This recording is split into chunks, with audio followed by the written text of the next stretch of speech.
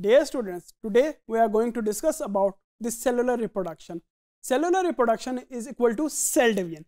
Cell division is the fundamental process that occurs in all living organisms. It ensures the reproduction, growth and development in the living organism. It also enables the transfer of genetic material to the offsprings. In case of unicellular organisms, it involves the formation of new organism as well as in multicellular organism. But in case of multicellular organism, it also involves the repair and the growth.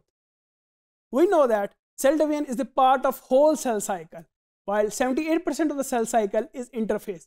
Interphase consists of three phases. Number one is the G1, number two is the S phase, and number three is the G2 phase. S phase is the important phase because it involves the replication of our genetic material. The, so, in these phases, the preparation for the cell division occurs.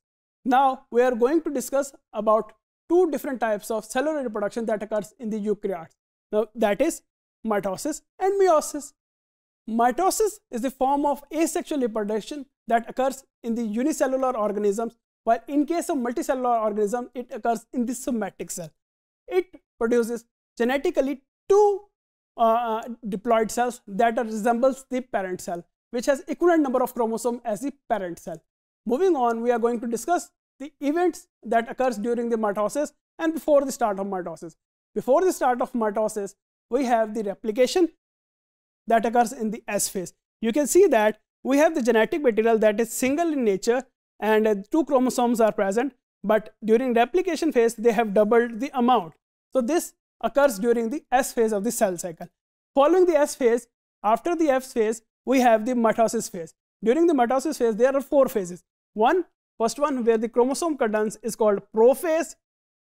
In the second phase, which is uh, shown here, that is the metaphase. In the metaphase, the chromosomes are aligned in the center. This is the metaphase of mitosis. After the metaphase, when the chromosomes are pulled to the opposite sides of the pole, that is called anaphase, which is clearly shown in the cell. After the anaphase, there is the telophase and the cytokinesis.